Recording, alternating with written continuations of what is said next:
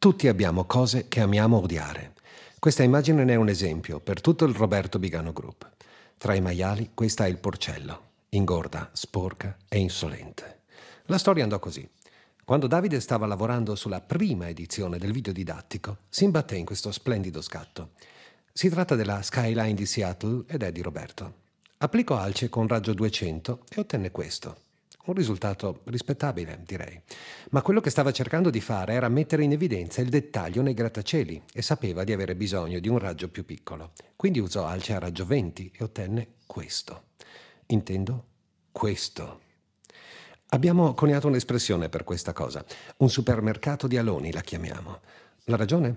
Potete prendervela con il cielo. Queste costruzioni non si chiamano grattacieli per sbaglio. Tagliano letteralmente il cielo in due visivamente. All'interfaccia si formano gli aloni per ragioni legate al contrasto. Sarebbe ridicolo nascondere il problema. C'è, non si discute. Qualsiasi altro intervento locale genererebbe aloni e sappiamo che Alce è più gentile di altri metodi. Ma quando ci sono, ci sono. Alcuni tra gli scatti che abbiamo visto erano amanti leggermente infedeli. Bene, benvenuti dalla messalina di turno. Come se non bastasse, questo problema è estremamente difficile da risolvere. Nessun canale, né in RGB né in LAB, è utile per creare una maschera, in questo caso, perché non c'è mai un contrasto enorme né nella luminosità né nel colore.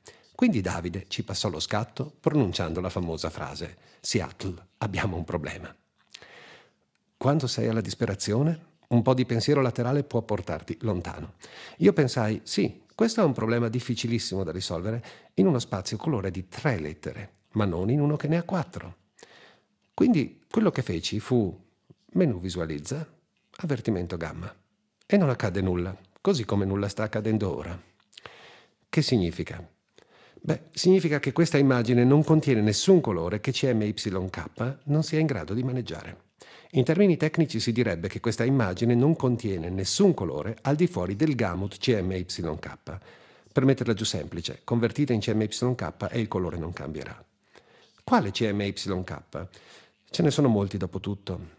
Nel mio caso la varietà stabilita dalle mie impostazioni colore, un profilo ICC tipicamente europeo che per gli amici si chiama Fogra 39. Ma in pratica non credo che possiate avere problemi in qualsiasi spazio CMYK ragionevole.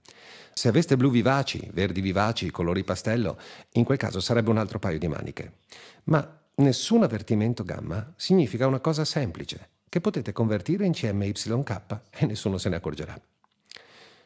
Ora, se siete dei fotografi, probabilmente considerate la mia affermazione come una bestemmia. Voglio farvi vedere una volta per tutte che su immagini come questa non si pone alcun problema. Quello che devo fare è portare il livello alce in CMYK. Proviamo. Lo seleziono e duplico il livello. Siamo in Adobe RGB, quindi creeremo un nuovo documento. Selezionate Nuovo come destinazione, chiamatelo Alce duplicato e date OK. Ora duplicate questo file. Convertitelo in CMYK in maniera che venga usato il vostro profilo di default e poi di nuovo in RGB.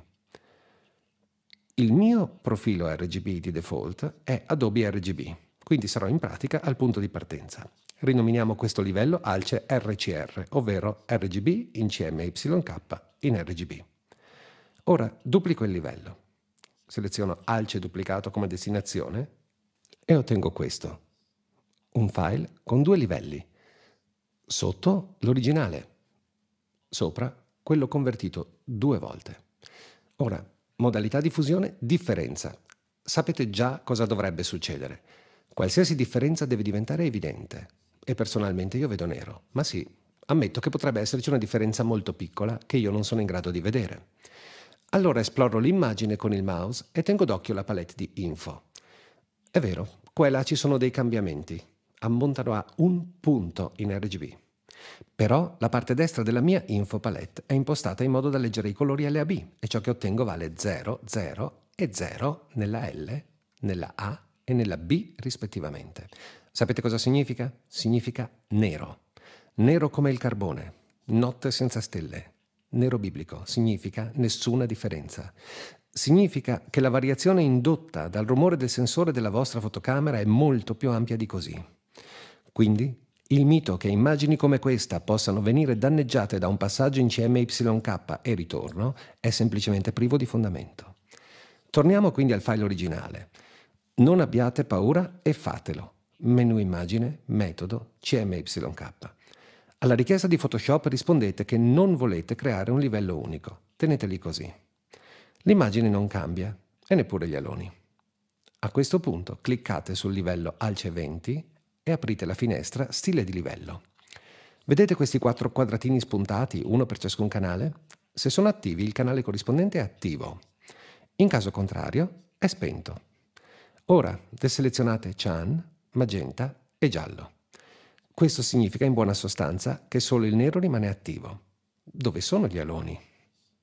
Spariti completamente. E tuttavia l'enfatizzazione di alce è ancora lì. Guardate, senza alce, con alce 20. Di nuovo, senza e con. È interessante, ma cerchiamo di capire perché. Doppio clic sul livello di nuovo e recuperiamo i canali originali, ovvero rendiamoli tutti attivi. Diamo un'occhiata a ciascuno di essi. Ora, questo è il cyan, aloni.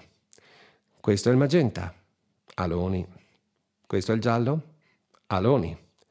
Questo è il nero, niente aloni. Questo è il potere del CMYK. Molto del contrasto migra dai canali del colore nel nero, quando convertite. Il nero è un canale molto speciale che il più delle volte contiene ciò che chiamiamo lo scheletro dell'immagine. Inoltre, di solito, è completamente bianco dovunque ci sia un colore appena saturo, come nel cielo. Per questa ragione è meno disposto ad accettare che si formino aloni rispetto a qualsiasi altro canale, perché è estremamente debole. Chi lavora nel settore prestampa conosce molto bene questo fatto. In CMYK il canale del nero è la prima scelta per la maschera di contrasto. Quindi, se spegniamo cian, magenta e giallo, abbiamo il meglio dei due mondi. L'enfatizzazione di alce e niente aloni. Ora, crea livello unito, un comando che conoscete già, o quando rientreremo in RGB gli aloni torneranno a farsi vivi, visto che tutti i canali si riattiveranno sulla via del ritorno. Ora convertiamo in RGB. Tranquilli, è un'operazione sicura. Questo è ciò che avevamo prima di passare in CMYK e questo è ciò che abbiamo ora. E già che ci siamo, questo era l'originale. È vero, l'effetto è meno marcato nella versione senza aloni e questo è l'unico prezzo che dobbiamo pagare. Ma vi sfido a tirare fuori qualcosa di migliore su un'immagine così difficile. E certo, potete schermare e bruciare gli aloni con infinita pazienza, se volete. Buona fortuna e comunque sia, dimenticatevi dell'orologio. Questa tecnica è stata battezzata K-alce, ovvero alce sul canale nero, cioè K. Ricordatevi, funziona se non avete colori fuori gamut, altrimenti perderete qualcosa al momento della conversione. Questo può essere un fatto rilevante o meno e talvolta è perfino desiderabile, però fate attenzione. In ogni caso ricordate, una conversione al giorno toglie gli aloni di torno.